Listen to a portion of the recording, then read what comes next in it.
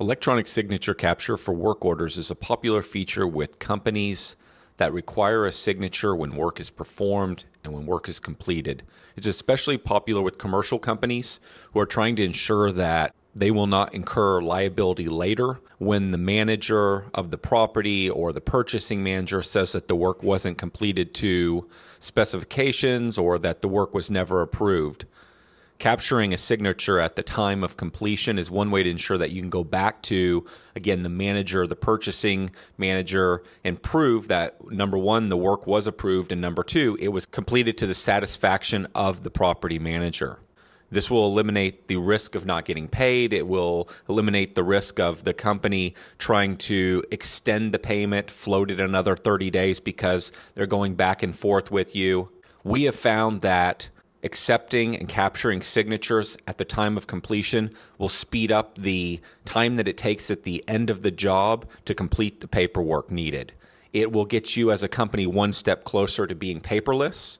It also eliminates those scenarios where your technician or your crew or team loses the paperwork. And it just makes you appear far more professional, far more organized because the end user, your client, they can sign right there on the mobile device, whatever that mobile device is that you use. And then all of that paperwork with the signature is instantly available to your team in the office.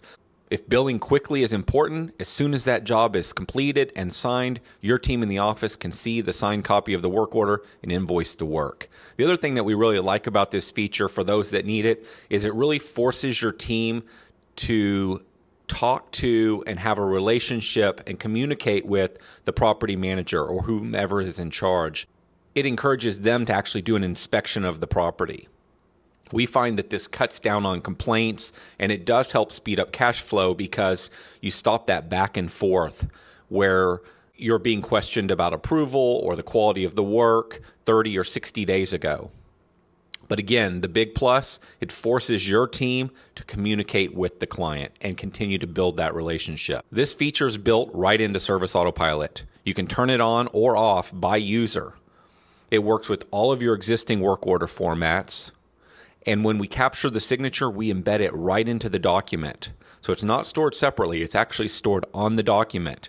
That document can be printed with the signature on it, or it can be emailed to the client from both the main system or from the mobile device. If you capture a signature, your tech captures a signature, and then additional work is added to it, the system will prompt the technician to recapture the signature to get a second signature for that work that was completed, that was amended and changed.